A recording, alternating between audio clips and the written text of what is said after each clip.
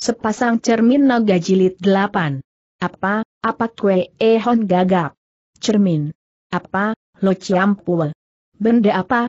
Heh, kami mencari cermin naga, bocah. Kau tentu melihat dan tunjukkan kepada kami, Bruk. Kue ehon dibanting, mengeluh dan menggeliat dan tiba-tiba menangis. Kue ehon sekarang tak seberani dulu, Kesenangan dan kenikmatan yang dihadapinya membuat pemuda ini agak berubah, takut kehilangan semuanya itu, kesenangan dan kegembiraan dalam hidup. Dan ketika kakek tinggi besar itu memaki-maki dan kakek satunya yang tinggi kurus mendengus dingin mendadak kue ehon diungkit sebuah kaki dia mencelat ke atas. Kau tahu cermin naga kue ehon tahu-tahu sudah disambar kakek tadi, kakek yang berwajah dingin dan matanya cekung, begitu menyeramkan seperti iblis. Kue Ehon menggeleng dan ketakutan, nyaris tak dapat mengeluarkan suara, tenggorokan rasanya tercekik. Dan ketika kakek itu menunjukkan rasa marah dan kue Ehon terbata-bata tak dapat menjawab tiba-tiba kakek itu mencekik tenggorokannya dan mau membunuh. Kalau begitu kau mampus. Kau tikus cilik tak berharga. Aundah kue Ehon tiba-tiba meronta, dapat mengeluarkan suara. Aku, aku, aku tahu, Lo Ciampua, lepaskan, aduh. Kakek itu melepaskan. Di mana suaranya gembira? Mana cermin naga? Itu, itu barangkali tanda seru kue Ehon menuding gentar, roboh terbanting dan ngawur menunjuk sebuah cermin besar yang ada di kamarnya. Tentu saja bukan cermin yang dimaksud dan kakek tinggi kurus itu tiba-tiba mendelik. Temannya, yang dipanggil Tok Ong, tiba-tiba tertawa bergelak. Dan ketika yang tinggi kurus melotot dan marah mendapat jawaban mendadak yang tinggi besar itu bergerak dan sudah menyambar dada Kwe Ehan. Kau Kwe E Taijin ya, bet, benar. Tanda petik. Kau yang baru diangkat sebagai Menteri Muda Urusan Perdagangan? Beb, benar. Hah, kalau begitu kau pembesar bodoh, anak muda. Lebih baik ku ganyang jantungmu dan kunikmati paru-parumu kakek ini menggerakkan tangan. Satunya, secepat kilat merogoh dan mau mencabut jantung dan paru-paru Kue Ehan. Kue Ehon tak dapat bicara lagi dan bercat pasi, tahu bahwa dia berhadapan dengan tokoh-tokoh iblis yang bukan main ganasnya. Sepak terjang dan kata-kata mereka saja cukup dijadikan. Bukti, dia berhadapan dengan maut dan tak mungkin dia melepaskan diri lagi. Dan terbelalak serta ngeri oleh ancaman kakek ini yang mau mengganyang jantung dan paru-parunya mendadak Kue Ehon berteriak dan tanpa sadar menyebut nama seseorang yang pernah memberinya cincin itu. Kim Emo Ueng titik. Tangan yang bergerak itu tiba-tiba berhenti sama cepat dan mengejutkan jari kakek ini sudah menempel di dada Kue Ehon, Sekali tusuk tentu jantung dan paru-paru akan dicoblos. Tok Ong, kakek itu, terhenyak. Dan ketika Kue Ehon tertegun dan bercat serta menggigil maka lawan melepasnya kasar dan membantingnya roboh, membalik. Mana Kim Emo Weng? Tak ada siapa-siapa. Heh, kau bicara apa? Anak muda kakek itu bergerak kembali, mencengkeram Kue Ehan. Siapa kau dan apa hubunganmu dengan Kim Emo Weng? Kue Ehon menelan ludah, tiba-tiba timbul keberaniannya. Lo Ciampu siapakah? Musuh atau sahabat? Hei sebuah bayangan tiba-tiba berkelebat masuk.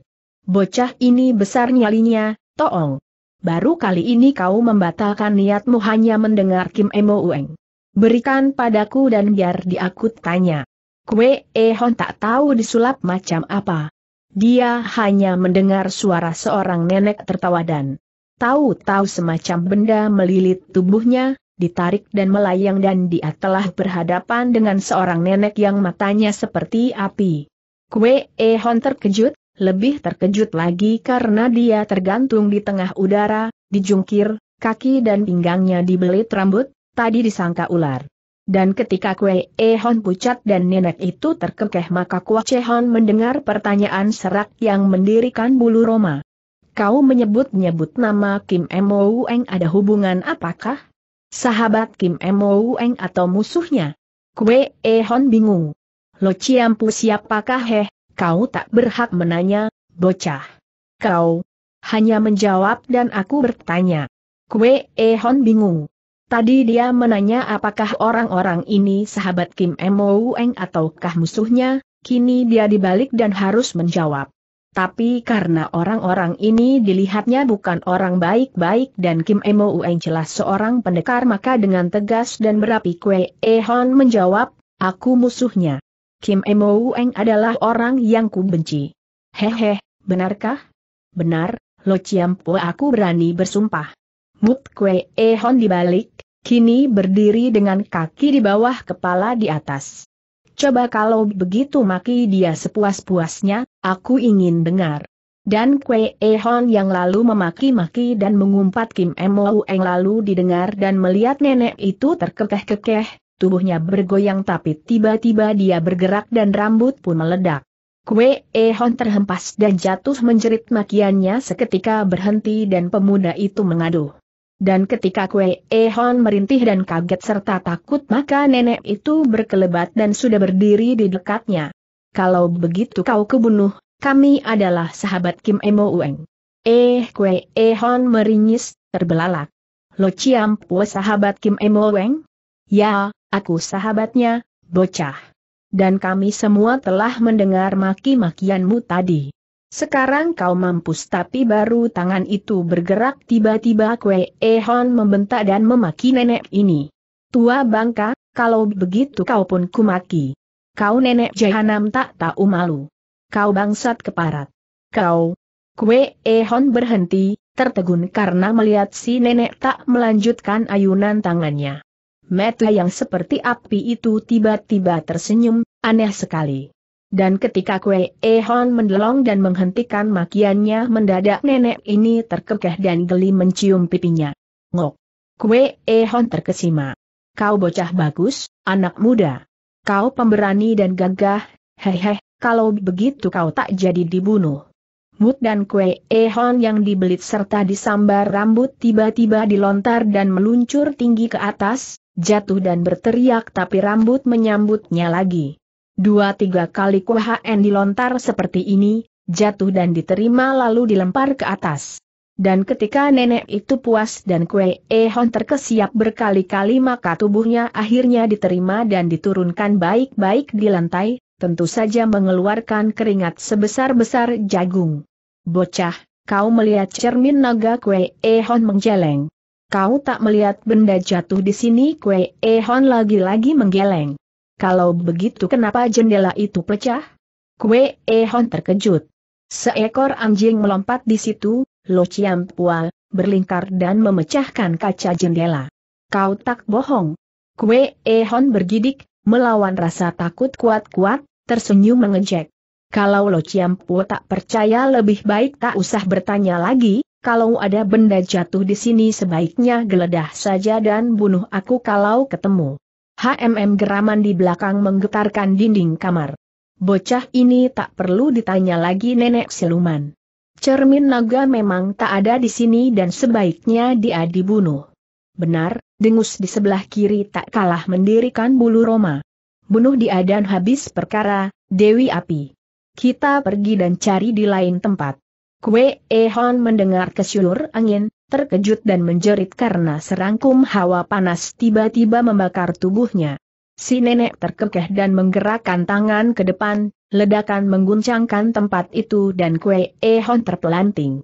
Dan ketika dia mengeluh dan sayup-sayup mendengar si nenek mencegah dia dibunuh maka Kue Ehon tak ingat apa-apa lagi dan roboh pingsan. Kue Ehon hanya tahu ketika dia diguncang-guncang pengawal, Mendengar pula Isak dan panggilan AHWA, sadar setelah dua jam kemudian tiga orang iblis itu pergi, bangkit dan membuka mata dan segera AHWA memeluknya. Pengawal dan AHWA berkata bahwa mereka mendengar ribut-ribut di situ, datang namun melihat dia pingsan, kaca jendela pecah dan entah apa yang terjadi.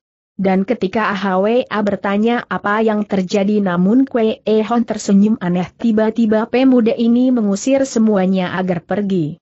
Tak apa-apa, tak ada apa-apa. Pergilah, aku hanya diserang seekor anjing dan kalian pergilah. Aku tak perlu menemani. Tidak, kau pun pergi, AHWA. Aku hanya sedikit kaget dan ingin menenangkan diri. baiklah, kalau begitu aku di luar, Koko. Sewaktu-waktu kau memerlukan aku silahkan panggil. Ahwe keluar, heran tapi lega kue ehon tak apa-apa. Tadinya dia cemas dan khawatir, takut pemuda itu diserang musuh. Tapi karena Kuehon baik-baik saja dan mereka semua pun pergi akhirnya tinggal Kue Ehon seorang diri di situ, duduk termenung dan bersinar-sinar memandang dinding rahasia di mana dia menyimpan benda aneh itu. Kiranya cermin naga, tentu sebuah benda luar biasa karena dicari-cari oleh tiga orang iblis macam nenek dan kakek, kakek itu. Kue Ehon tiba-tiba berdebar, sekarang menyadari bahwa benda yang jatuh di kamarnya itu adalah benda berharga, di mana harganya dia masih kurang tahu. Tapi karena cermin itu telah berada di tangannya dan tentu saja dia harus berhati-hati menyimpan maka Kue Ehon tak mengutak-atik benda itu selama beberapa hari, takut dientai atau didatangi iblis-iblis seperti tiga orang tadi. Kue Ehon ngeri dan bergidik, tak mengenal mereka kecuali Tok Ong dan Dewi Api, itu saja, seperti yang mereka sebut sendiri. Dan ketika pemuda ini berdegupan kencang dan masih tegang oleh kejadian itu mendadak dua minggu kemudian dia mendengar berita bahwa dirinya akan diangkat sebagai menteri penuh, langsung berdampingan dengan Pangeran Yeufu yang kiranya menambah jasa dengan pengangkatan itu. Kue Ehon teringat cermin naga, Cermin itu kiranya membawa rejeki dan ketika benar saja tak lama kemudian pemuda. Ini diangkat sebagai menteri penuh dan kedudukannya sejajar dengan Hek Taijin atau lain-lain maka rejeki demi rejeki membanjir di diri pemuda ini, membuat Kue Ehon melambung dan naik pamornya. Tak lama kemudian menjabat kedudukan rangkap sebagai menteri tanah, kedudukan ini jelas membawa rejeki luar biasa banyaknya. Kue E Hon si bekas nelayan itu tiba-tiba menjadi pembesar tinggi. Dan ketika setahun kemudian Kaisar wafat dan diganti oleh saudara Pangeran Ufu maka Kue E Hon duduk pula sebagai anggota Dewan Penasihat Kaisar. Bukan main. Kue E Hon lagi-lagi teringat cermin naga itu, entah kenapa sejak cermin itu datang di tempatnya tiba-tiba keberuntungannya melonjak. Dia tak ingat lagi pada Xiong Hai dan lain-lain harta dan wanita telah mengelilingi pemuda ini, setiap hari bersenang-senang dan lupa dia pada kampung halamannya, Ming Chiang. Dan ketika suatu hari rasa mabok membuat pemuda ini tinggi hati dan mulai congkak maka hari itu kakek Pue lagi-lagi muncul bersama dua pelayan dusun yang notabene masih bekas sahabatnya dulu. Tapi begitu tiga orang ini muncul maka muncul pula seorang lain yang tidak diduga-duga Kue Ehan. Kenapa kalian ke sini begitu Kue Ehon menyambut tak senang ketika Kue Lopek dan dua temannya datang, langsung mengerutkan kening dan merasa terganggu. Pakaian lusuh dan sikap kedusun-dusunan kakek Kue E ini membuat Kue Ehon malu. Pagi itu dia dikelilingi tujuh pelayan yang sekaligus selirnya, Kue Ehon kini banyak memelihara gundik dan ketika sorot metunya menunjukkan ketidaksenangan dan Pue Lopek terbata-bata maka kakek ini berkata dengan sikap dan kata-kata seperti dulu, lugu dan apa adanya, tidak tahu sopan santun tata istana. Kami datang ingin meminta bantuanmu Kue Ehan. Dua teman kita ini, Akong dan Asam dianiaya Chuang Wei, hartawan Chu. Mereka. Hektometer, Siapa mereka ini kata-kata Pue Lopek terputus, wanita cantik di sebelah kiri Kue Ehon bangkit berdiri, dia adalah Kyokin, selir terkasih baru Kue Ehan. Apakah kalian tak tahu sopan santun menghadap pembesar?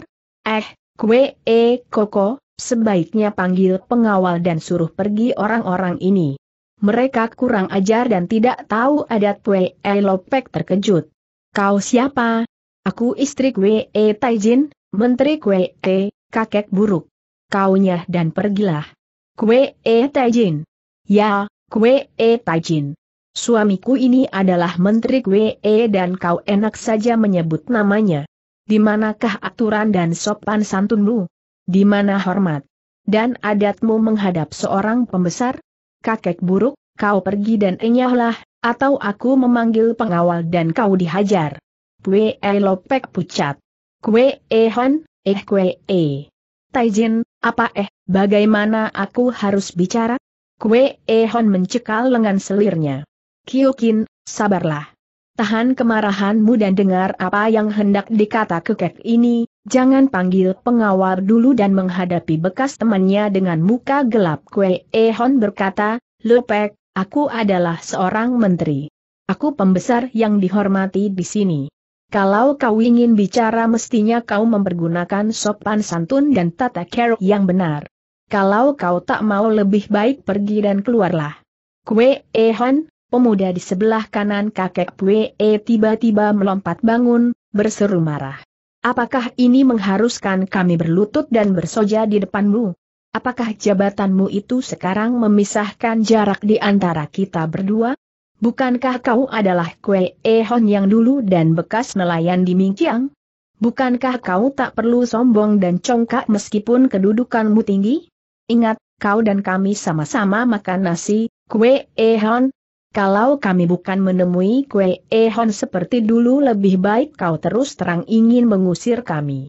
Kau sudah berbohong pada Kue Elopek, tak pernah datang ke Ming Chiang dan membiarkan kami para sahabatmu ditindas juragan perahu kalau kami disuruh berlutut dan harus menghormatimu berlebih-lebihan lebih baik kami pergi dan keluar dan marah menuding-nuding Kue Ehon pemuda itu, Akong, mengajak Kue Elopek dan temannya pergi. Panas dan marah karena Kue Ehon sekarang bukan seperti Kue Ehon yang dulu. Tadi di waktu mereka masuk saja mereka hampir gagal dicegah pengawal. Akong yang berangasan ini sudah naik pitam dan hampir berkelahi. Pemuda itu sudah menahan-nahan kemarahan karena Kue Ehon tak menepati janji, pemuda itu lupa dengan janjinya pada Kue Elopek dulu. Tindasan kaum juragan menjadi-jadi dan Akong malah berurusan dengan Chu, Wang Wei, hartawan yang sudah kembali ke Ming Chiang itu, hampir dibunuh dan melarikan diri. Dan ketika kini sambutan Kue Ehon terasa tak menyenangkan dan pemuda itu tampaknya bersikap sombong dan mengagung-agungkan kedudukannya tiba-tiba A, Kong yang bertemperamen tinggi ini tak sabar, langsung berdiri dan memaki-maki Kue Ehon. Kebiasaan mengumbar makian di kalangan buruh nelayan timbul, Akong memang tak tahu tata cara menghadap pembesar. Kue Ehon dianggapnya sama seperti dulu, pemuda itu masih Kue Ehon juga dan kedudukannya lah yang membedakan mereka. Akong yang lugu dan kasar tak mau tahu semuanya itu. Maka begitu Kue Ehon dirasa menaruh diri terlalu tinggi dan Kyokin juga mengusir Kue Elopek tiba-tiba nelayan bertemperamen keras ini gusar, marah-marah dan memaki Kue Ehon yang dianggap congkak. Kerut di Kening Kue Ehon pertama kali menyambut mereka sudah membuat Akong tersinggung, pemuda ini naik darah. Tapi ketika dia memutar tubuh dan menyambar Kue Elopek tiba-tiba tiga pengawal masuk ke ruangan itu dan mendengar bentakan Kue Ehon, yang juga marah. Akong, kau manusia kurang ajar. Berhenti dan berlututlah sebelum pengawalku bertindak. Akong terkejut. Kau mau apa?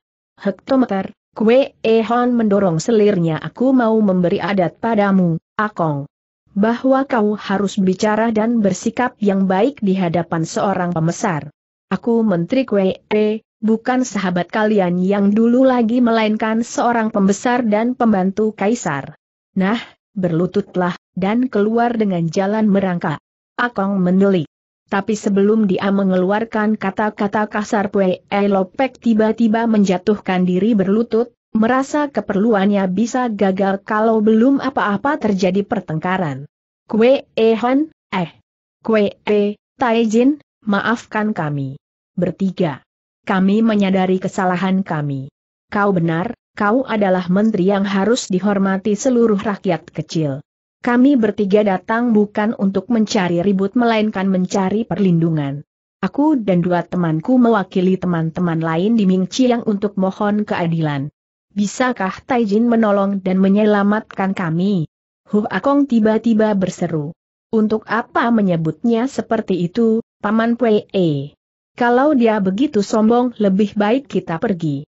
Aku menyesal setelah melihat semuanya ini, Kue Ehon ini sudah bukan seperti sahabat kita dulu. Akong Kue Elopek membentak. kau diamlah dan dengar kata-kataku.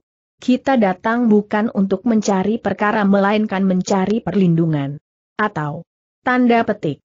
Atau aku keluar akong membalik, memotong ucapan kakek itu dan dengan berani serta pengah pula dia meninggalkan temannya. Di situ menghadang tiga pengawal yang tidak membuat pemuda ini takut. Aku memang pemberani tapi sayangnya kasar, kebiasaan hidup sebagai kaum buruh membuat pemuda ini kurang memiliki sopan santun, Maklumlah, pendidikannya memang rendah. Dan ketika dia membuat yang lain-lain terbelalak dan Kue Ehon mendelik tiba-tiba Akong di sana sudah melewati pengawal dan dengan gagah coba meneruskan langkahnya. Berhentil. Seruan itu tak digubris. Tiga pengawal sesudah mendapat isyarat Kue Ehon, mereka menodongkan tombak dan Akong malah membentak. Pemuda itu dengan berani dan gegabah menyambar tombak pengawal di sebelah kanan, dia mengira akan diserang. Dan karena pemuda itu mulai bergerak dan berarti menyerang tentu saja pengawal menjadi marah dan dua yang di sebelah kiri menusuk dan menghantam pemuda itu. Blok Akong mengelit, lolos dari tusukan tapi tak lolos dari hantaman, mengaduh dan mengamuk dan segera pemuda itu mencabut pisau, Kiranya dalam perjalanan pemuda ini membekal senjata, membalas dan segera terjadi perkelahian sengit. Dengan kekerasan dan kepandaian seadanya nelayan ini berusaha mengalahkan tiga pengawal, tentu saja tak mungkin dan tiga pengawal berseru marah. Mereka gusar oleh sikap pemuda itu.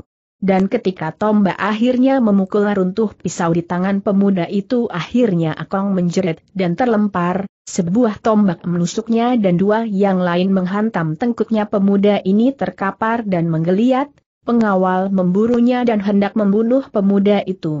Tapi Pue Lopek yang berteriak dan melompat bangun tiba-tiba menghambur. Jangan, jangan dibunuh. Dan gemetar.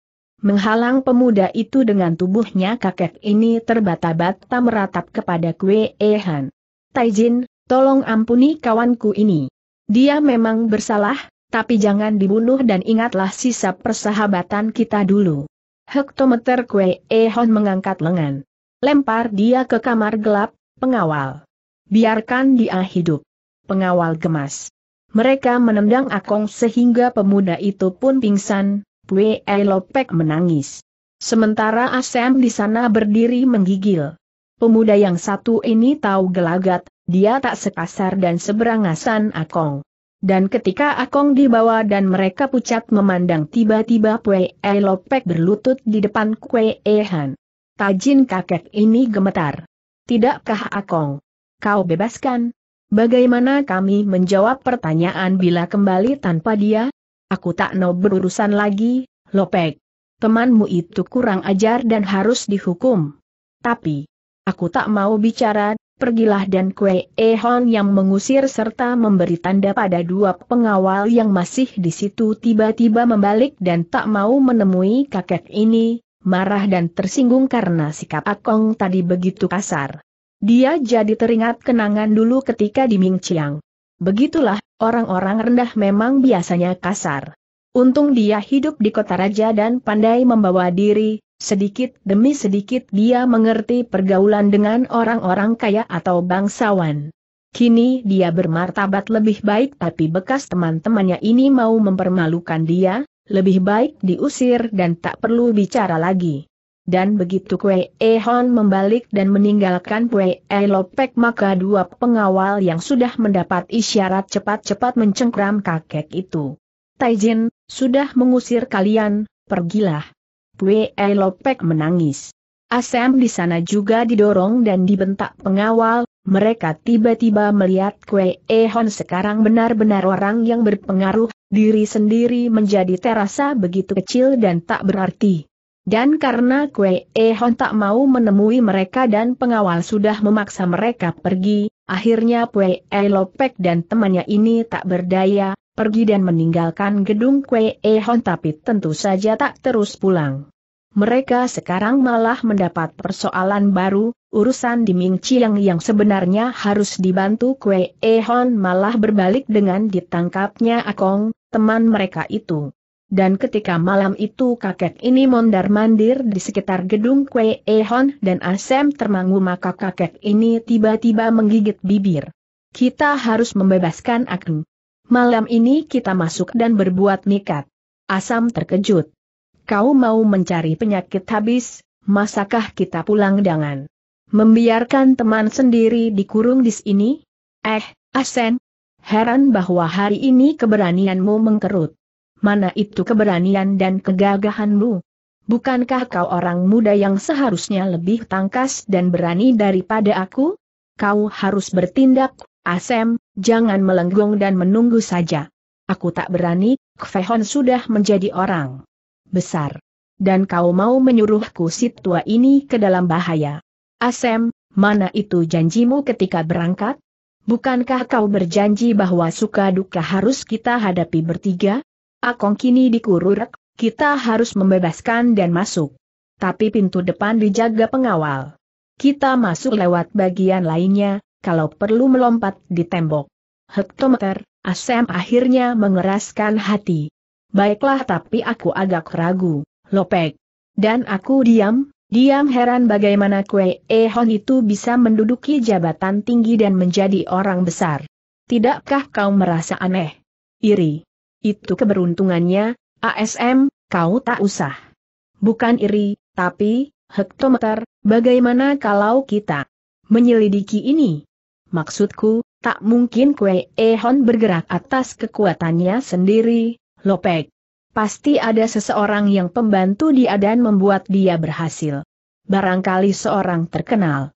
Kakek Pue tertawa mengejek. Kita sekarang tak perlu melantur ke mana-mana, Asen, Pokoknya kita cari akal dan masuk untuk membebaskan Akong dengan menempuh bahaya menyerahkan diri sendiri, mungkin nyawa. Takutkah kau? Kredit, sumber buku AWD, edit OCR ikan daret tidak, bukan begitu.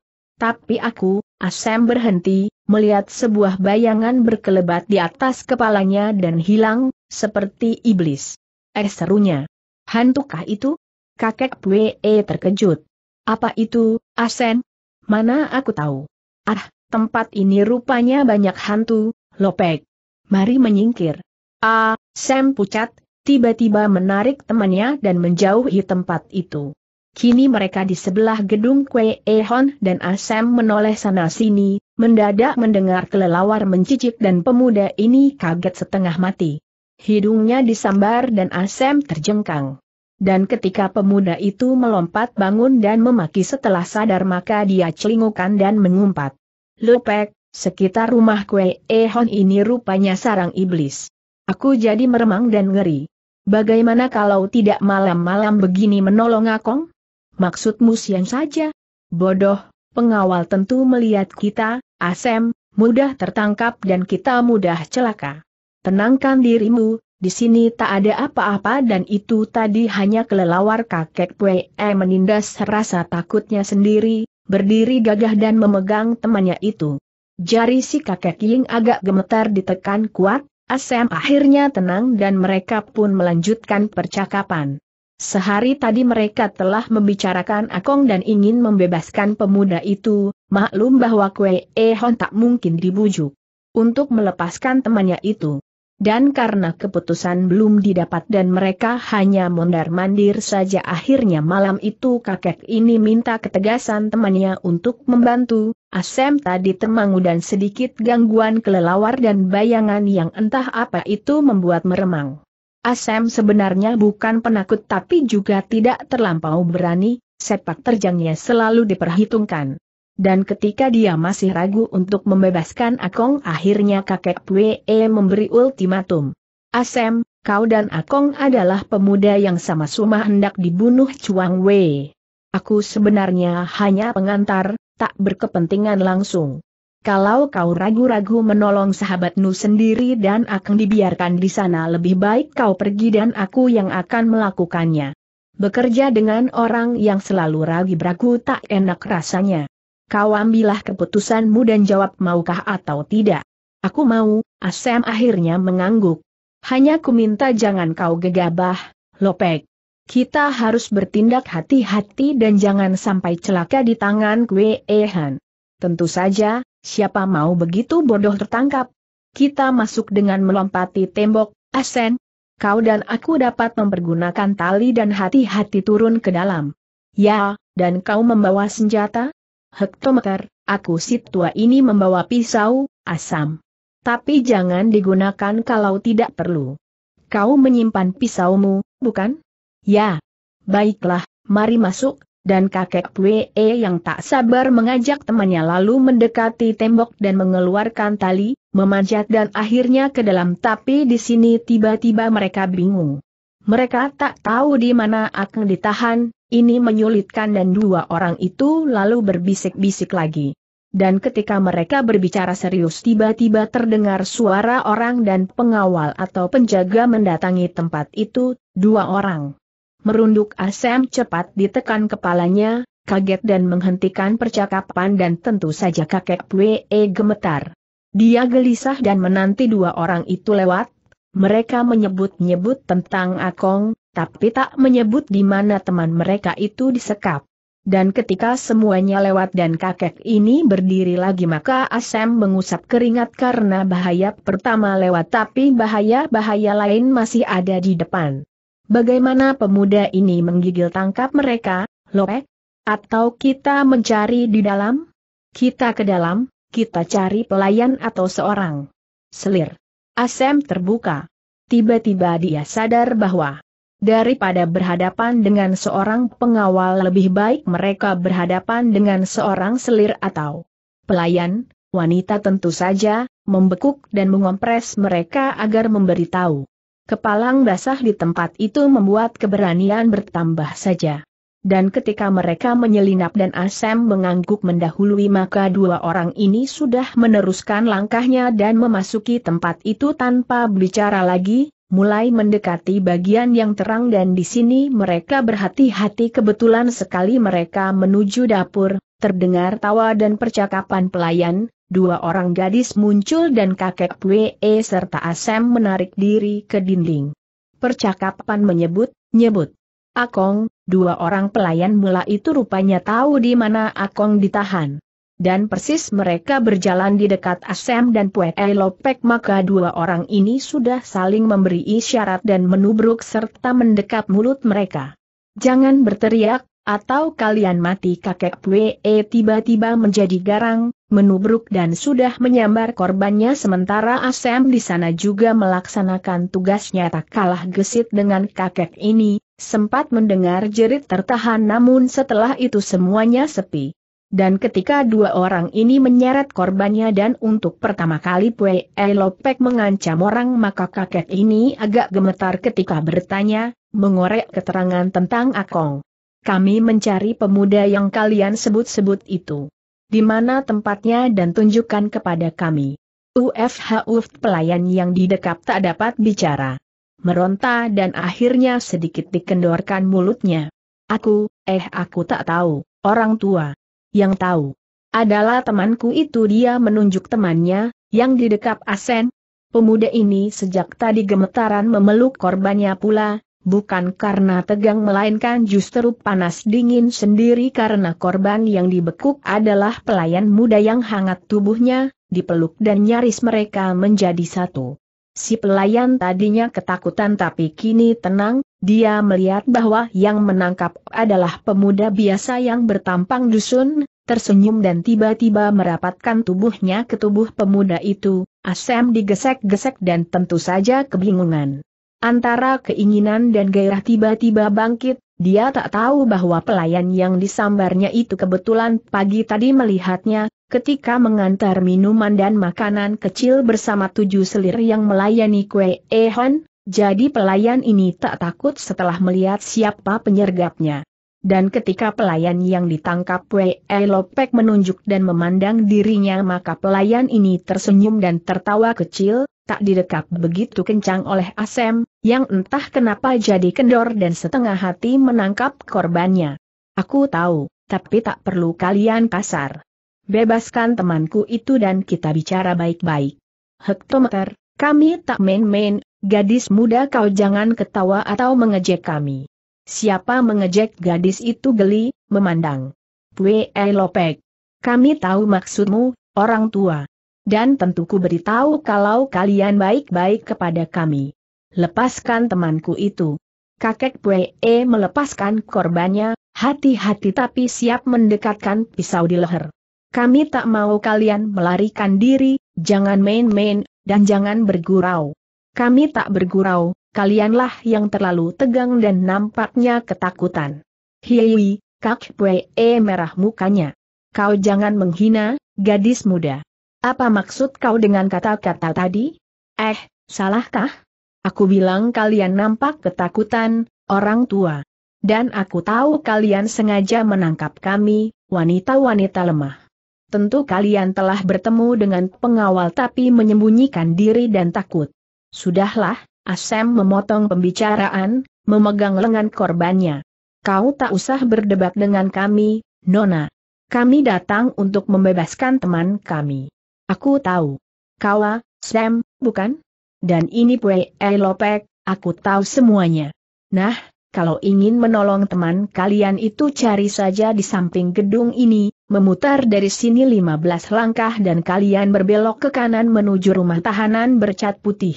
Di situ teman kalian disekap dan sekarang bebaskan kami. Kau tak bohong. Hihik aku bohong tak ada gunanya, kakek P.E kau ke sana pasti gagal dan akan tertangkap pula. Nah, untuk apa bohong? Kakek itu tertegun, memandang temannya. Bagaimana, Asen? Hektometer, Asem garuk, garuk kepala.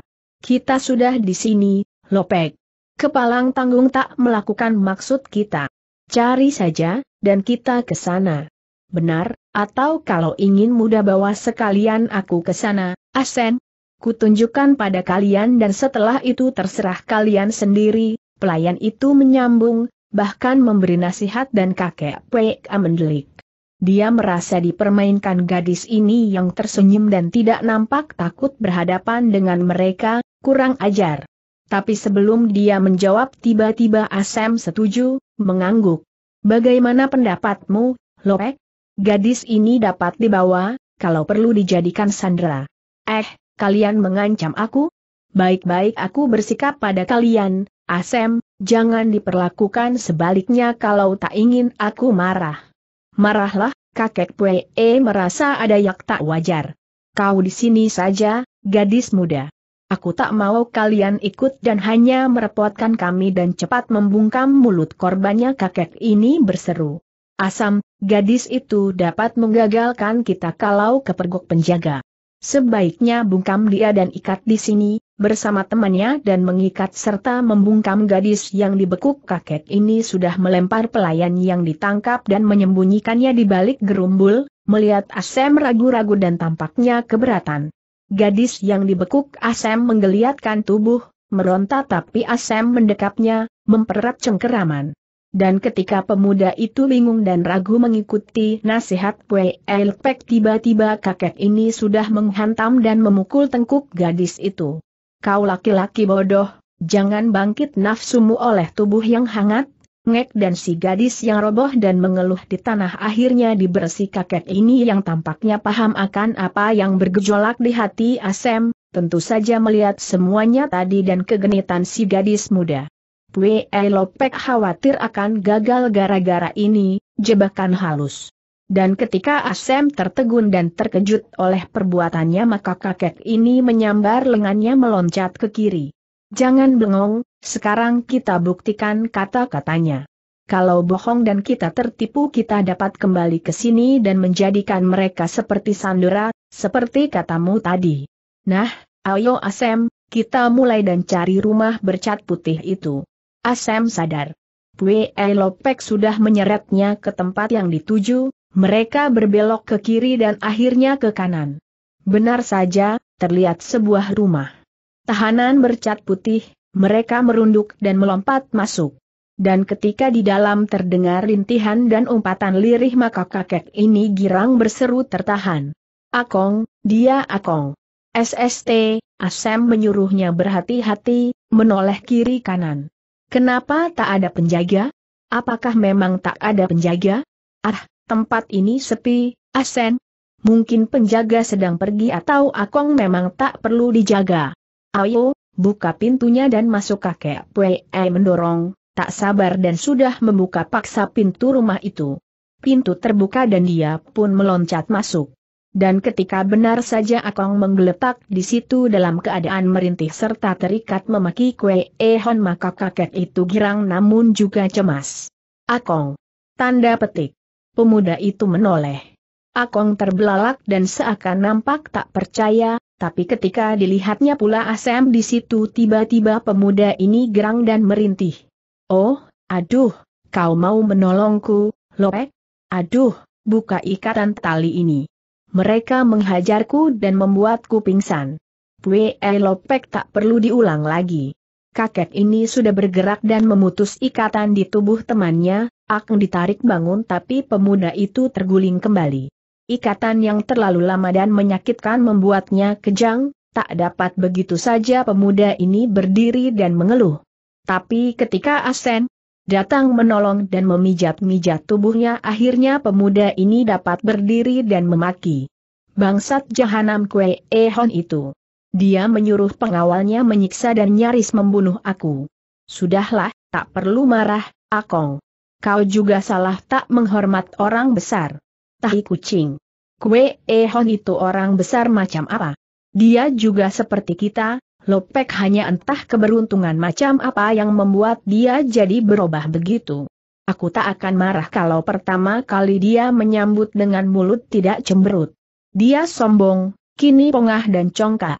Kau mau keluar atau memaki-maki kakek Pue membentak juga kami mempertaruhkan keselamatan untukmu, Akong. Kalau kau ingin tetap di sini, biarlah kami pergi. Tidak, ha, maaf pemuda itu sadar juga. Aku tentu saja ingin keluar, Lopek. Dan banyak terima kasih atas budi pertolonganmu. Ayolah, mari. Bawa aku keluar tapi baru mereka bergerak dan memutar tubuh tiba-tiba lima pengawal muncul dan sudah berdiri di pintu, bengis dan dingin. Kalian mau merat? Jangan ngimpi pengawal di depan, yang tertawa dan mengejek mereka melompat masuk, diikuti keempat temannya, langsung mengepung. Kue E Tarjin sudah menduga kalian datang lagi, tua bengka. Dan kini kalian tak dapat lagi dibiarkan. Hidup, Wood dan tombak serta golok yang digerakkan dan sudah menyerang tiga orang ini lalu membuat Wee Opek terkesiap dan menangkis, menggerakkan pisaunya tapi dia terbanting. Tenaga yang tua ternyata tak dapat menghadapi tenaga yang muda, si pengawal terlalu kuat dan sudah menerkam lagi, kali ini menyambar dan menusuk punggung kakek itu. Tapi karena Akong ada di dekatnya dan pemuda ini tentu saja tak membiarkan temannya dibunuh tiba-tiba Akong melompat dan membentak pengawal itu, menghantam dan dari samping dan menyerang si pengawal, Asem juga terpaksa bergerak dan menyerang pengawal itu pula, pengawal ini dikeroyok. Dan karena dua lawin satu dan si pengawal terjepit maka tombak terampas dan segera Akong atau Asam mengamuk di situ, ditubruk empat pengawal yang lain namun kakek Pwe berteriak marah. Dengan gagah dan berani kakek ini membela temannya, terjadilah serang menyerang di situ. Tapi karena lima lawan tiga dan Akong juga masih terasa kaku ototnya maka sebentar kemudian tiga orang ini kewalahan, menjerit dan mulai menerima tusukan atau bacokan golok. Kakek Pwe terbabat namun dengan gagah dan berani kakek ini maju lagi, dia terasa dipepet dan tak mungkin mundur.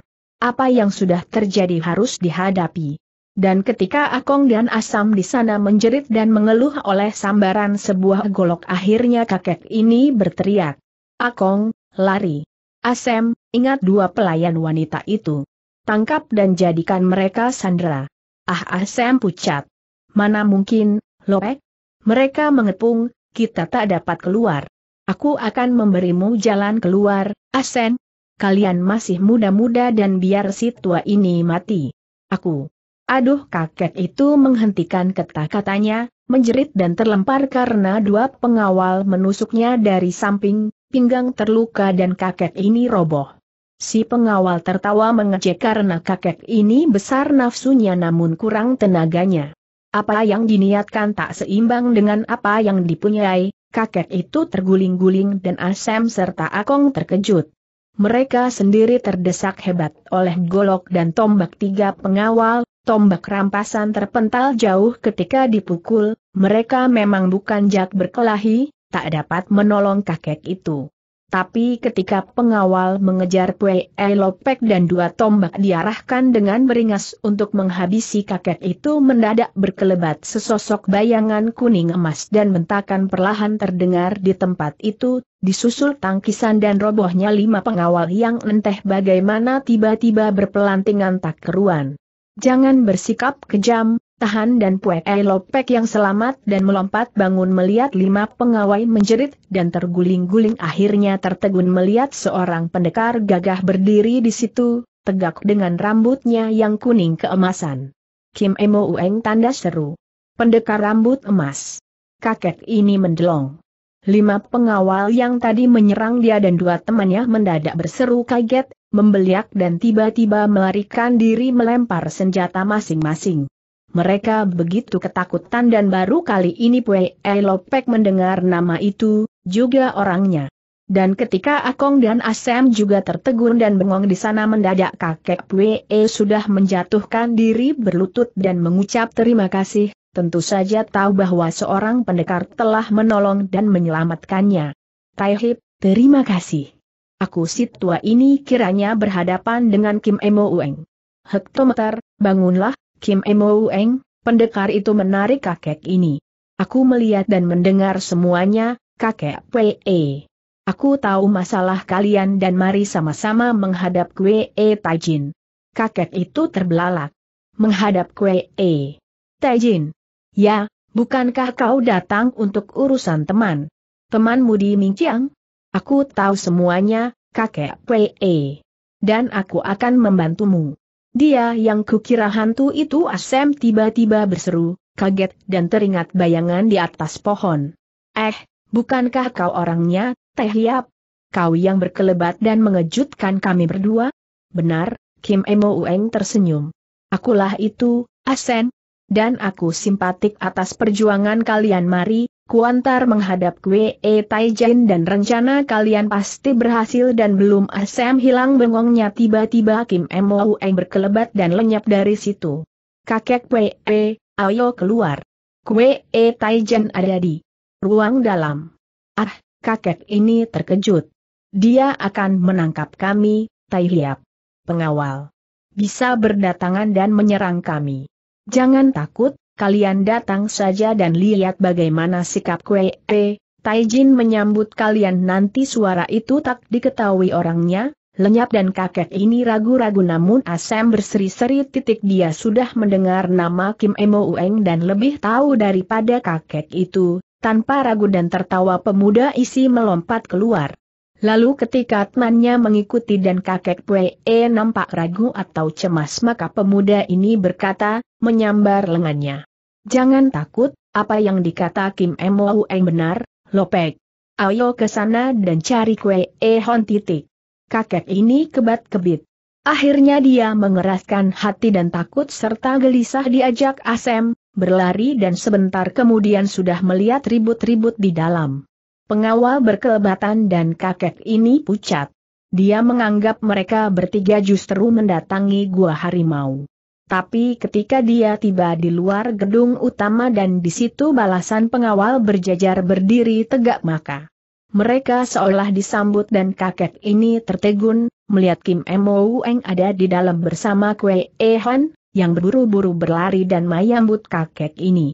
Kwe E Lopek, mari. Silahkan masuk. Kue E lepek bengong. Kue E yang pagi tadi galak dan ketus sekonyong, konyong berubah, sikapnya manis dan sudah menyambut kakek ini, memegang lengannya, membawa masuk. Dan ketika Akong dan Asem mengikuti dan mereka juga tertegun oleh sikap Kue E Hon maka pemuda ini tampak menjurah dalam-dalam di hadapan pendekar rambut emas itu, memberi hormat dengan penghormatan yang luar biasa hormat. Tai Hiap, maafkan aku. Kiranya Pue Lopek sudah berkenalan denganmu dan juga sahabatmu. Maaf, aku tak tahu dan tentu saja akan menyatakan penyesalanku kepadanya, dan membalik menghadapi kakek ini Kue Ehon berkata. Lopek, aku tak tahu kalau kau adalah juga sahabat Kim Tai Hiap. Kenapa tidak bilang dulu-dulu agar aku mengerti? Maaf atas semua kekasaranku, Lopek. Aku berjanji tak akan mengulang semuanya itu dan kita tetap kawan. Pue E Lopek mendelong. Dia melihat Kue E Hon begitu manis dan hormat kepadanya, bertemu pandang dengan Kim Mo Eng dan sekilas isyarat tampak dikedipkan pendekar itu. Kakek ini mengerti, segera tersenyum. Dan ketika dia mengangguk dan tentu saja girang maka dia menunjuk dua temannya. Ah, tak apa, kue e tajin. Dan aku juga minta maaf atas kekasaran, Akong dan Asem ini. Mereka tak tahu adat, kami memang orang-orang kecil yang tidak tahu banyak sopan santun. Maafkan kami pula, dan menegur temannya kakek ini menyambung, Akong, kau harus minta maaf pada Kwe E Taijin. Hayo beri hormat dan lakukan perintahku. Akong buru-buru membungkuk. Maafkan aku, Taijin, katanya pendek. Tapi kau juga bersalah karena menyuruh pengawal-pengawalmu bersikap kejam. Ah, itu kelancangan mereka. Aku akan menegur Kwe E Hon buru-buru menjawab. Dan kau tak usah memanggilku Taijin, kita adalah sahabat dan bekas sesama rekan. Mari duduk Akong. Kita duduk di dalam kue ehon yang tak mau dilihat pengawal berlama-lama lalu mengusir mereka pergi, mengajak tiga temannya masuk dan Kim Emo Ueng pun dipersilahkan. Sekarang kue ehon tampak begitu hormat dan merendah, kakek Pue E tak tahu apa yang sebenarnya telah terjadi antara pemuda itu dengan pendekar rambut emas. Tapi ketika mereka diajak masuk dan duduk mendapat jamuan tiba-tiba Kim Em Eng berkata, Kue Ehon, aku tak ada banyak waktu. Aku datang untuk menanyakan sesuatu, adakah pernah kau melihat sebuah cermin berbingkai emas? Dan apakah kau dapat membereskan masalah yang dibawa tiga orang ini? Ah, Tai Hiap mau ke mana? Ada apa buru? Buru? Aku datang untuk mencari sesuatu, Kue Ehon, dan kebetulan saja bertemu Pue Elopek dan dua temannya ini apakah kau pernah menemukan sebuah cermin?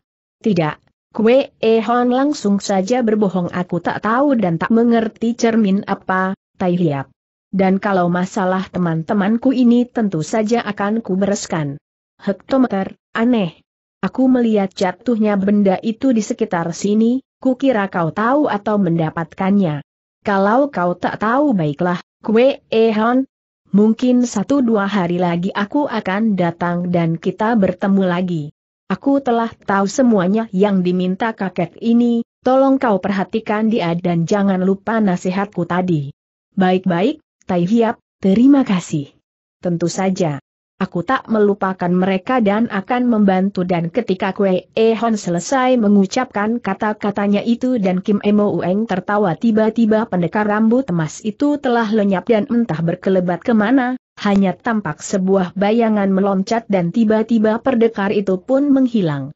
Ini sama seperti yang dilihat Asem tadi, gerakan luar biasa cepat mirip siluman saja dan ketika mereka bengong dan Kue Hon termangu maka kakek Kue E mendapat sambutan. Ramah dan kini Kue E Hon tak memusuhi mereka lagi, mengajak ketiganya duduk kembali dan Kue E Hon segera minta apa yang hendak dibicarakan kakek itu. Tidak seperti pagi tadi di mana Kue EHN cemberut dan jelas menunjukkan ketidaksenangannya adalah sekarang pemuda ini menyambut tamunya baik-baik. Pue Lopek segera menceritakan apa yang terjadi di Mingchiang, bahwa penyakit juragan perahu kambuh lagi. Mereka memeras dan mencekik kaum nelayan, bahwa sistem bagi hasil kembali mengalami ketidakadilan dan kakek itu minta agar dengan pengaruhnya Kue Ehon dapat mengatasi semuanya itu, pemuda inilah harapan satu-satunya bagi seluruh buruh nelayan. Dan ketika Kue Ehon berjanji akan datang dan mengurus hal itu maka untuk kedua kalinya pemuda ini memberi bekal beberapa puluh ribat tel perak untuk membantu kehidupan teman-teman Kue Elopek, disambut girang dan untuk kedua kalinya pula kakek ini mengucap terima kasih. Dan ketika semuanya berjalan lancar dan Kue Ehon benar-benar berjanji akan membantu mereka maka kakek ini akhirnya kembali dan pulang ke Mingchiang. Hei, lepaskan aku. Bebaskan kami. Dua tubuh di atas api unggun itu meronta, mereka berteriak dan memaki-maki sejak tadi, dua orang di bawah mereka terkekeh dan tertawa, mereka itulah Hau Kam dan Guan Beng, dua murid Hu Tai Hiap yang diculik nenek naga bumi dan iblis cebol Hek Bong Xiao Jen dan yang kini marah-marah di atas api unggun mereka diikat dan digantung di situ, persis babi panggang, dan ketika mereka berteriak dan mulai memaki-maki lawannya maka nenek naga bumi, yang menculik dan menawan Hau Kam bangkit berdiri, tahu-tahu melecutkan rambutnya ke tubuh pemuda itu. HBI, kenapa berkauk-kauk macam ayam disembelih? Kami tak mengapa-apakan kalian, bocah. Diam dan tenanglah di situ, atau aku akan menghangatkan kalian dengan api yang lebih besar. Lagi tar. Hau Kam menggeliat, tubuhnya sudah penuh keringat dan suhengnya terbelalak. Pemuda ini memaki dan marah-marah kepada nenek iblis itu, nenek naga bumi tampaknya mendongkol dan meniup api dengan hembusan mulutnya, api berkobar dan tubuh Hau Kam yang telanjang tinggal mengenakan pakaian dalam saja terbakar, langsung dijilat dan pemuda itu mengeluh. Sejak tadi mereka disiksa nenek ini, dua jam lebih menerima panasnya api unggun dan kini si nenek tiba-tiba malah membesarkan api, tentu saja haukam. Kepanasan tapi dengan sinkangnya pemuda ini membuat tubuhnya licin dingin. Koleksi kolektor ebook. Keringat mengucur deras dan jatuh menepesi api di bawah, memang tidak langsung padam namun sedikit banyak membantu juga. Hau Kam bertahan dan tidak sampai terbakar, kecuali kulitnya menjadi merah kematang-matangan.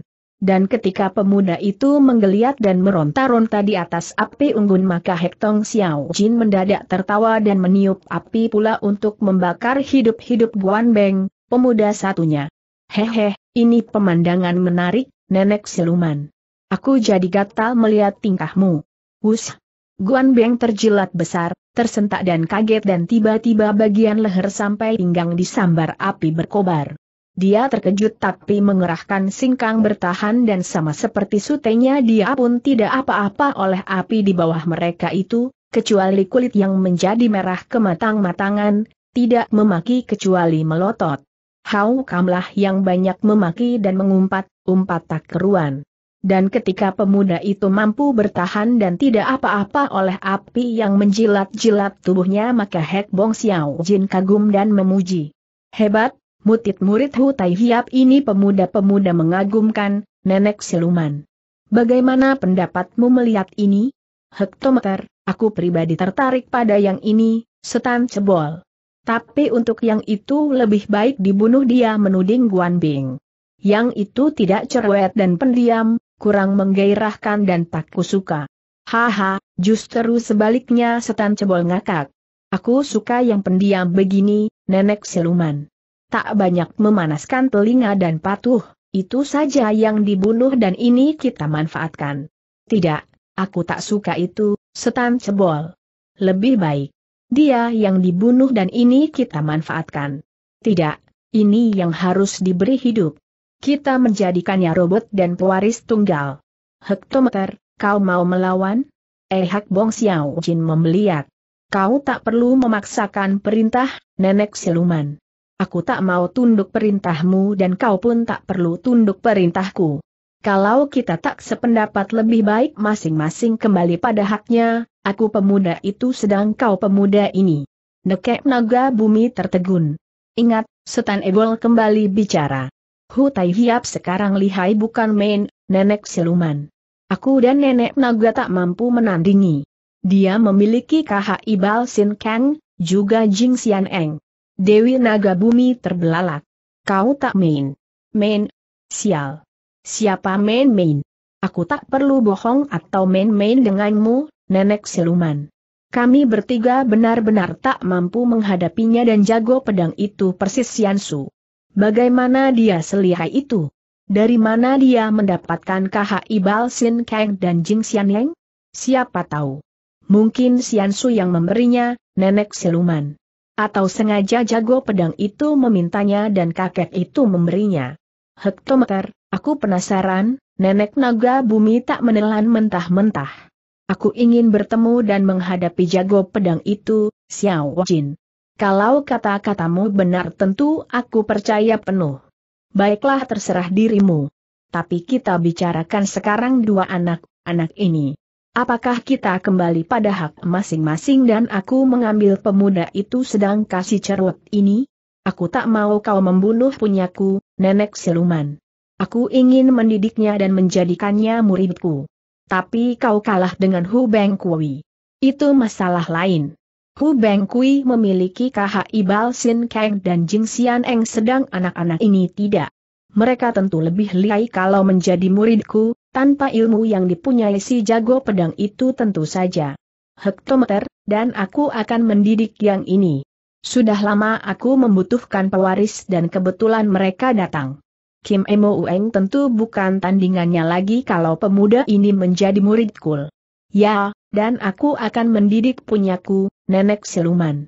Kalau begitu kita masing-masing menggembleng murid sendiri dan lihat siapa yang kelak lebih unggul. Tak perlu macam-macam, murid kita tentu imbang. Haha, siapa tahu. Yang pendiam ini lebih milai, nenek siluman. Lihat dia lebih dapat bertahan daripada yang itu. Nenek naga bumi mendengus. Saat itu Hau Kam kembali berteriak-teriak, Guan Beng diam saja sementara api menjilat-jilat tubuhnya. Dua pemuda ini sama dipanggang tapi Hau Kam rupanya tak tahan lebih dulu, kalah kuat dan keringatnya membanjir lebih deras daripada suhengnya, Guan Beng. Dan ketika pemuda itu berkaok-kaok sementara naga bumi mendongkol dan gemas mendadak nenek itu melecut dan menyambar Guan Beng. Aug Guan Beng berteriak, pedih dan terbelalak dan setan cebol terkejut. Nenek naga bumi kembali hendak menyiksa pemuda itu, Hek Bong Xiao Jin membentak dan akhirnya menghadang di tengah, mulut meniup dan api pun tiba-tiba padam, tinggal Hau Kam di sana terpanggang kepanasan. Dan ketika nenek naga bumi mendengus dan marah memandang Guan Beng tiba-tiba Hek Bong Xiao Jin menggerakkan tangan dan Hau Kam pun yang berkawok, kawok ditepuknya roboh. Diam kau cerewet dan kayu pengikat, yang ditepuk iblis ini tiba-tiba runtuh dan membawa Hau Kam ke dalam api unggun, persis di bawahnya. Aduh, keparat. Jahanam kau, Xiao Jin. Bangsat. Nenek naga bumi menggerakkan kaki. Hau Kam yang terbakar langsung di bara api ditendang, mencelat dan diterima nenek ini.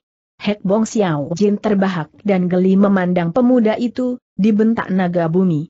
Dan ketika nenek itu marah dan memandang setan cebol maka Dewi Api atau nenek naga. Bumi ini mendelik. Xiao Jin, jangan kau menyiksa punyaku pemuda ini muridku, kalau kau menyerangnya maka kau akan berhadapan dengan aku. Haha, bukankah yang mulai adalah kau?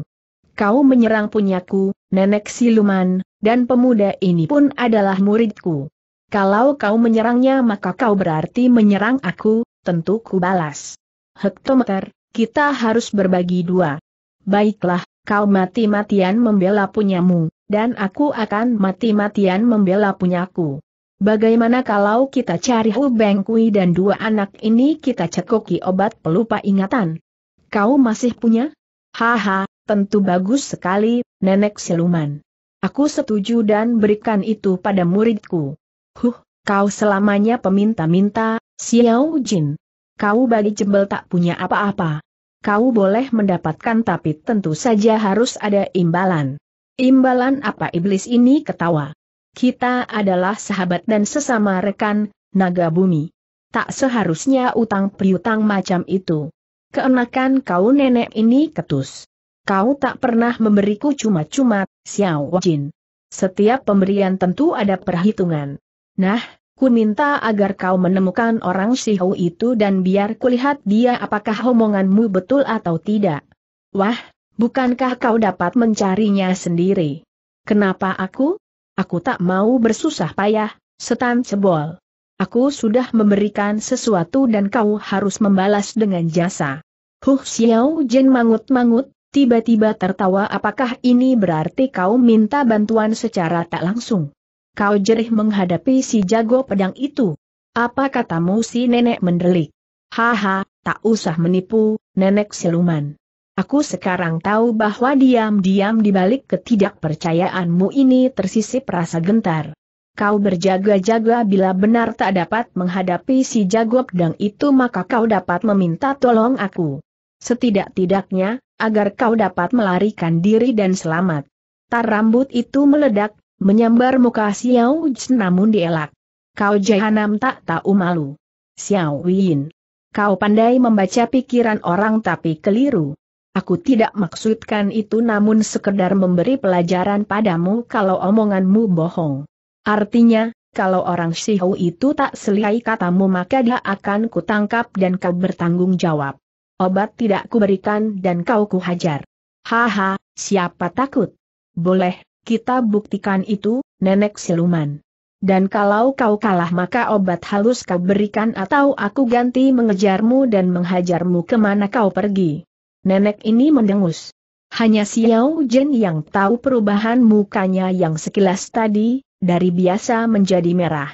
Bahwa dia memang gentar dan tersisip rasa berhati-hati menghadapi Hu Beng Kui, tentu saja setelah mendengar bahwa Hu Beng Kui mampu menghadapi tiga temannya sekaligus, Hek Bong Xiao Jin dan sepasang Dewi Naga. Tentu cebol itu telah menceritakan peristiwa di Cebu, bahwa Hu Beng Kui memiliki kepandaian luar biasa di mana jago pedang itu nyaris sama dengan Bu Beng Xiansu, kakek dewa yang mereka takuti itu. Dan ketika Xiao Jin tertawa dan nenek ini mengangguk maka Dewi Api atau nenek naga bumi itu melepas ikatan Hau Kam. Kau harus tunduk kepadaku. Sekarang tak boleh berteriak-teriak lagi.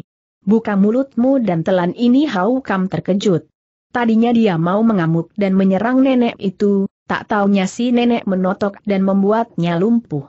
Dan ketika Hau Kam terbelalak dan melotot tak dapat memaki tiba-tiba si nenek menjepit rahangnya dan otomatis mulut pun terbuka.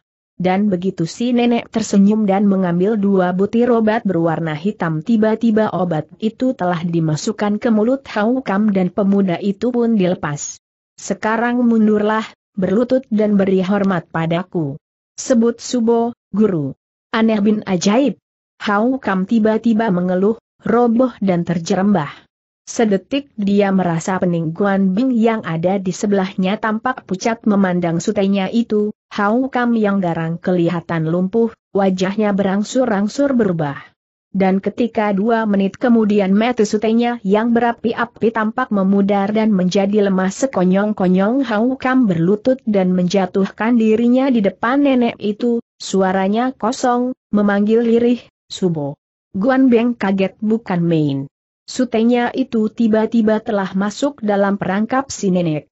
Dewi api naga bumi terkekeh. Dan ketika Guan Beek terbeliak dan berseru tertahan maka sutenya ditendang dan diterima nenek itu, yang tertawa aneh. Hau Kam, sekarang kau adalah murid Dewi Api si nenek sakti. Kau akan tunduk dan selalu mengikuti perintahku. Dan kau juga akan seperti sutemu ini, bocah kau akan tunduk dan menjadi muridku Hek Bong. Xiao Jin terbahak, memandang Guan Beng dan pemuda itu berteriak. Sekarang Guan Yi Beng pucat, kaget dan takut, juga marah. Namun ketika Hek Bong Xiao Jin melepas dan menendang dirinya pemuda ini pun, tak dapat berbuat apa-apa dan lumpuh. Tidak Guan Beng menjadi kalap. Kau bunuh dan cabut nyawaku, iblis busuk. Kalian iblis terkutuk tak tahu malu. Heh, Kenapa sekarang menjadi cerewet? Diam dan tenanglah, bocah. Hek Bong Xiao Jin tak akan membunuhmu karena kau calon murid yang berbakat plak setan cebol itu menepuk pundak. Guan Beng, si pemuda mengeluh dan tak dapat bicara lagi.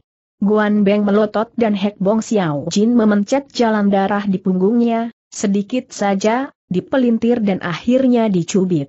Dan ketika Guan Beng berteriak tanda kesakitan tiba-tiba pemuda ini telah pingsan dan jalan darah pembalik otak telah diputar arahnya oleh Hak Bong Xiao Jin. Guan Beng akan menjadi pemuda yang sementara ini tak dapat menemukan dirinya sendiri, linglung. Haha, bagaimana, nenek siluman? Bukankah ya akan menjadi sama seperti muridmu? Ya, tapi kau harus mencet jalan darahnya lagi kalau jalan pikirannya pulih, Setan cebol. Tindakanmu tak sepasti obat pelupa ingatan yang kupunyai. Pemuda itu akan pulih setiap enam atau tujuh bulan. Haha, dan setiap enam atau tujuh bulan berarti jalan darahnya harus kubalik lagi, tak apa. Kau memang pelit, nenek sial. Kalau sekarang kau berikan obat pelupa ingatanmu itu tentu aku tak perlu bersusah payah. Heh, tak usah melantur. Kau belum melepas jasa mana mungkin mendapat imbalan? Cari orang Shihu itu dulu, Sotan Cebol.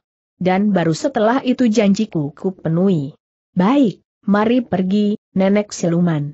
Aku jadi gatal menghajarmu lewat si jago pedang itu dan Hek Bong Xiao Jen yang menyambar Guan Beng tiba-tiba lenyap dan menghilang dari tempat itu, disusul kemudian oleh gerakan si nenek iblis dan nenek naga bumi ini pun lenyap, menyambar dan memanggul Hau Kam dan segera dua tokoh luar biasa ini menuju ke selatan. Mereka hendak ke Cebu, ke tempat si jago pedang itu. Tapi karena saat itu Hu Bengkui telah meninggalkan rumahnya untuk mencari dua muridnya maka di tengah jalan tiba-tiba mereka bertemu, tepat di sebuah tikungan ketika pendekar itu hendak berbelok. Heh bentakan ini mengejutkan Hu Bengkui. Kau orang Shihu dari Cebu. Hu Bengkui tertegun, tak melihat siapa-siapa. Ada suara tanpa rupa. Tapi karena jago pedang ini seorang lihai dan kini kepandaiannya sudah meningkat beberapa kali lipat maka cepat ia mengerahkan tenaga batin dan seorang nenek tampak di depannya terlindung. Asap hitam, hal yang tak dapat dilihat Suatlian yang saat itu di sampingnya, bertanya heran. Siapa yang membentak kita, yah? SSST, jago pedang ini bersinar-sinar, pura-pura. Tak tahu. Kita bersembunyi, Suat lian. Rupanya ada. Siluman atau hantu, mari jago pedang itu menyelinap, bersembunyi di balik gerumbul dan nenek naga bumi terkekeh tak memperlibatkan diri. Ia tentu saja mengetahui lawannya itu, rekannya, si setan cebol Hek Bong Xiao Jin tak menunjukkan diri, iblis cebol itu sengaja membiarkan temannya berhadapan sendiri dengan jago pedang ini. Dan ketika nenek itu terkekeh dan tentu saja mencibir melibat kebodohan Hu Beng Kui ini maka dia ingin menggoda dan justru mau mengejek lebih lanjut, menakut-nakuti alias memberi teror metal. Kau jangan seperti siput bersembunyi di rumahnya, Hu Beng Kui. Keluar dan hadapilah aku, api maut. Suat Lian terkejut. Entah dari mana asalnya sekonyong-konyong meluncur sebuah lidah api menyambar ayahnya, cepat dan luar biasa dan desisnya seperti naga kelaparan. Gadis ini terkejut tapi ayahnya mengelak. Hu Bengkui tentu saja tahu asal api itu dan mengebut. Dan ketika api lenyap dan padam menghilang entah ke mana maka nenek naga bumi terbelalak. Kau dapat menyelamatkan diri suara itu pun tak kelihatan orangnya oleh Suat Lian, kau menantang aku, orang Shihu. Baik, lihat dan dengarkan ini. Seribu api akan menyerang mus-hus seribu api. Bagai kunang-kunang mendadak muncul, berhamburan dan menyambar dari mana-mana mengejutkan Suat Lian. Gadis ini memekik dan tentu saja kaget, dia dan ayahnya sudah diserang dari segala penjuru.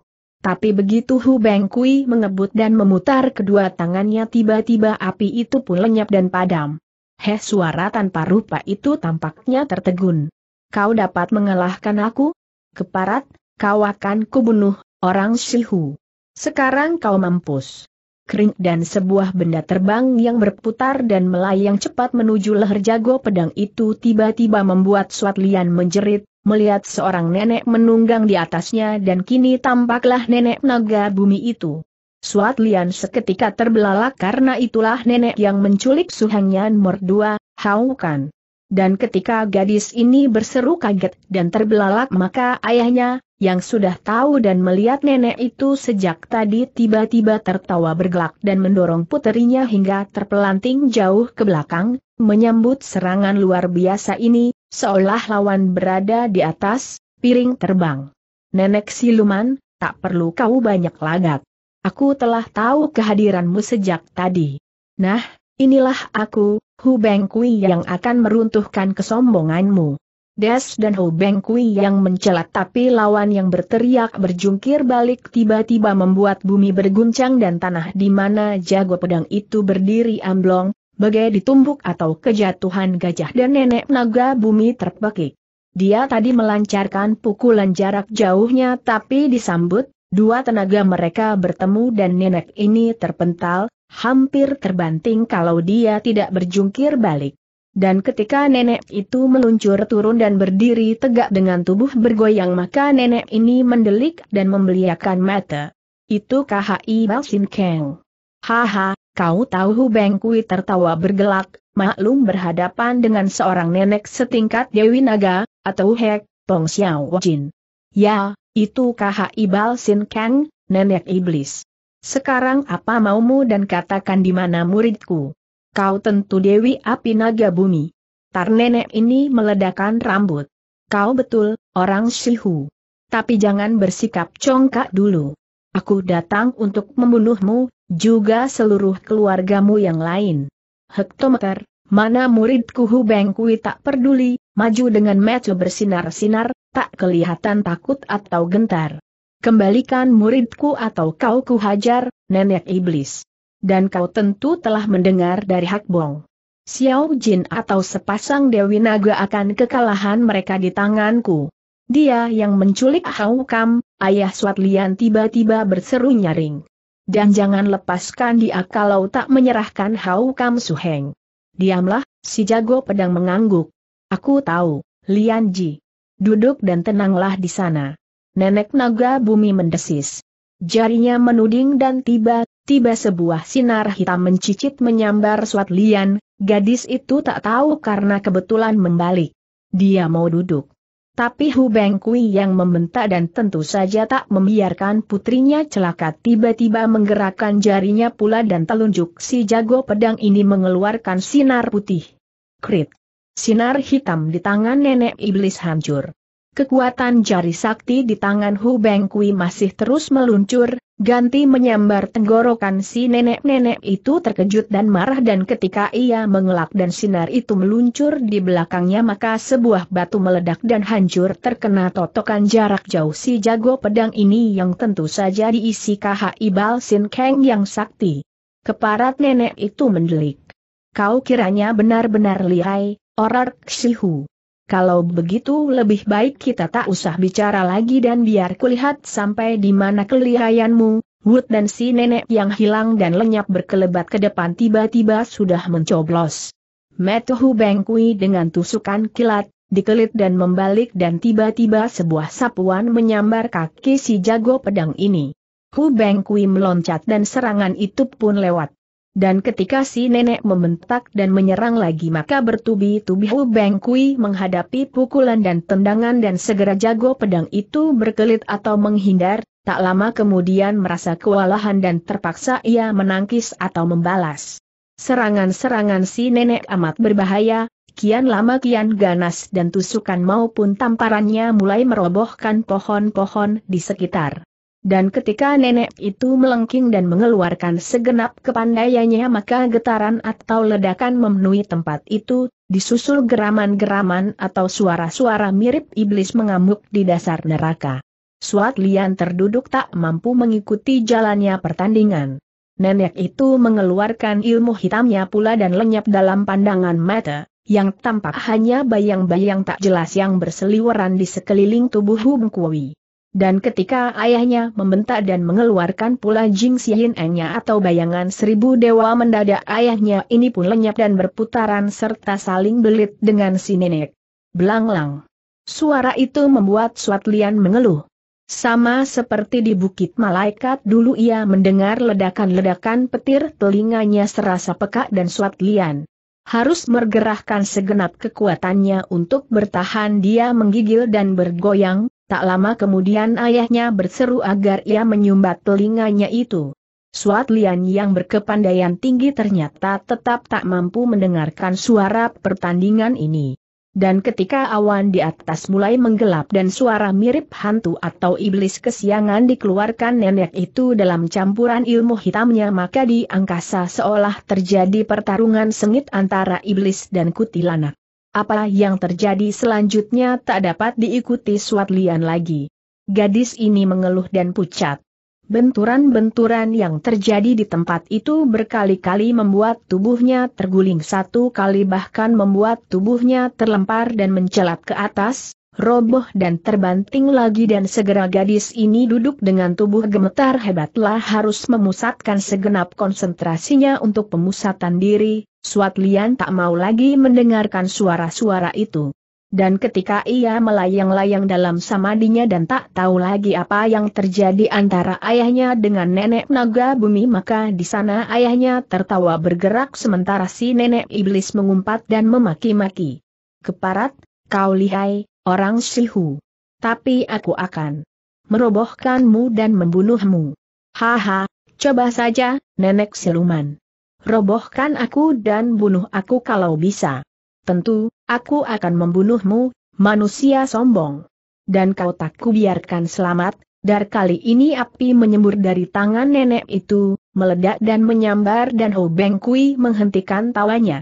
Lawan mengerahkan kesaktian bersama ilmu hitam, dia menunduk dan mendorong. Dan ketika api itu dikebut padam dan si nenek memekik maka pukulan berikut menyambar dalam bentuk siluman. Koaak! Suara ini pun tak merubah kedudukan pendekar itu. Hu Beng Kui menggerakkan lengan bajunya dan menampar, seekor naga bertubuh siluman dipukulnya. Dan ketika bayangan hitam itu hancur dan kembali lenyap maka nenek lawannya menjerit histeris. Hu Beng Kui, kau jahanam keparat sing. Belar secercah kilat tiba-tiba muncul, menyambar dan menuju kepala si jago pedang. Kali ini Hu Bengku tak mengelak melainkan memasang kepalanya, sengaja menerima itu. Dan ketika kilat atau pukulan api ini mengenai batok kepalanya tapi hancur berkeping-keping maka nenek naga bumi merasa kewalahan, akhirnya membuang semua ilmu hitamnya karena juga pedang itu mampu menolak atau mementalkan. Dia menjerit dan mengeluarkan ilmu pukulannya paling dahsyat, Te Sin Kang, pukulan bumi. Dan ketika nenek itu meraung dan menancapkan kedua kaki kuat-kuat di tanah dan tubuh tiba-tiba mendoyong ke depan melepas. Pukulan ini maka dorongan bagai gunung meletus menghantam pendekar itu. Des! Suat lian terlempar tinggi. Gadis itu terkena guncangan dahsyat, mencelat dan ke samping di pohon, jatuh terduduk dan masih dalam keadaan bersila, bukan main. Dia dalam samadinya yang husuk, dalam keadaan seperti itu tak ada apa pun yang dapat membuka matanya. Gadis ini tak sadar dan kesangsang di pohon, untung tidak jatuh atau jeblos di dalam jurang umpamanya. Dan ketika benturan itu disusul teriakan si nenek iblis dan Sin Kang dihadapi Hu Beng Kui maka jago pedang ini terdorong sementara si nenek terjengkang bergulingan sepuluh tombak. Aung nenek itu mendekap dadanya, melompat bangun. Kau hebat, orang Sihu. Rupanya Sian Su benar-benar memberikan ilmunya padamu.